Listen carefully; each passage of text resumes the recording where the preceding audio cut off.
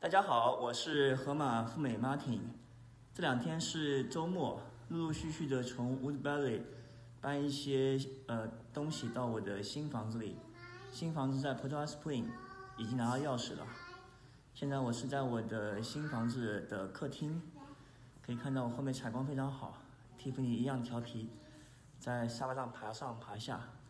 好，我镜头切换一下，看看我们这套房子的交房标准。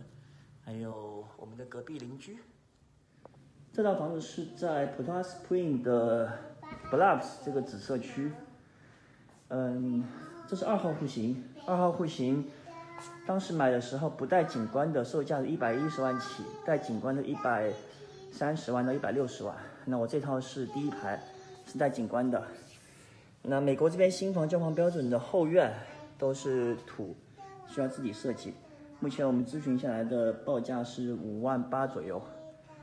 那这套房子我们是一百八十多万景观，采光非常好，可以看到光谱中心、牛泡碧区的高楼，还有迪士尼烟花都能看到。然后室内地板是做的升级，不升级的话，这里一般是地毯，厨房那边是地砖，那我们把它全部升级为。符合地板。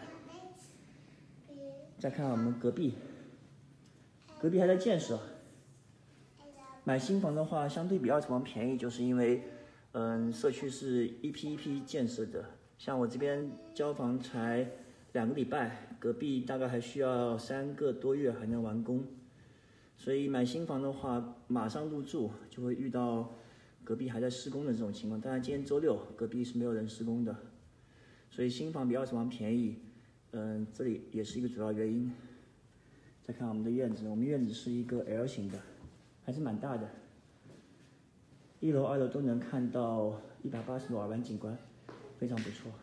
好，今天分享就到这里，谢谢大家。